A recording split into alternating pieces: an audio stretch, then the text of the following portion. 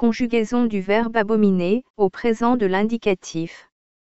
J'abomine, e. Tu abomines, es. Il, elle abomine, e. Nous abominons, ons.